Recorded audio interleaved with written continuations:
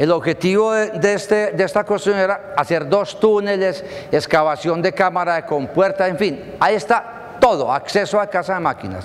Entonces lo primero es que, como vamos a ver, la empresa no cumplió con el objeto total. Le tuvieron que quitar el contrato,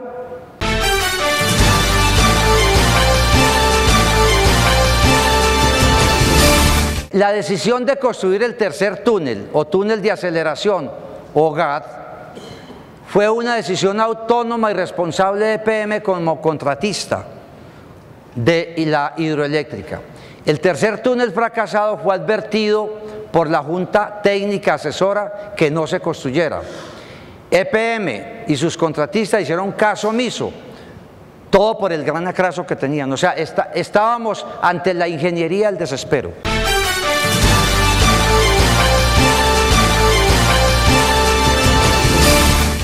El tercer túnel de aceleración o el que fracasó GAD se inició la construcción en agosto de 2015.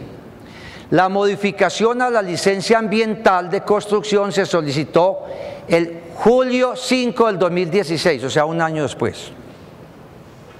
Un año después. Y la licencia ambiental se otorgó el 30 de septiembre del 2016.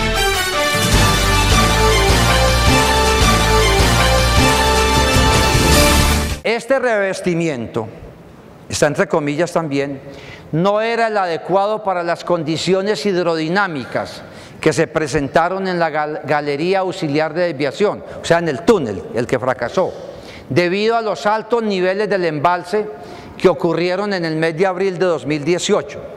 Las velocidades que alcanzó el flujo, ese flujo de entrada, o sea, la velocidad del agua al entrar al túnel, son superiores a las velocidades de diseño que resiste el concreto lanzado.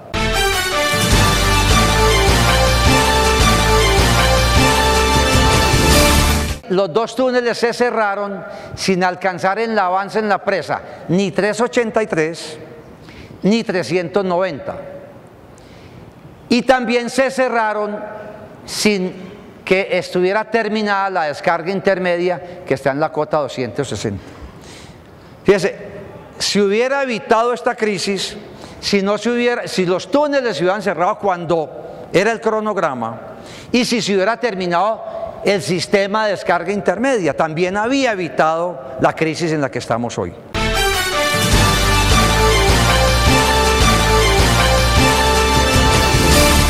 No hubo un plan para volar el tapón completo, primer punto. Segundo, no había personal con experiencia en la voladura de concreto reforzado. Tercero, la prisa por actuar hizo tomar decisiones equivocadas. Cuarto, los avances por voladuras no corresponden a los que se, se logran con voladuras bien diseñadas.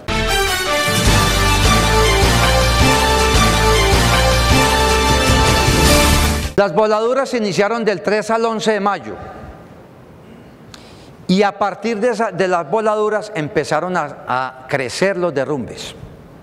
No quiero traer aquí fotos ni nada, pero los derrumbes empezaron entre 3 y el 11 de mayo.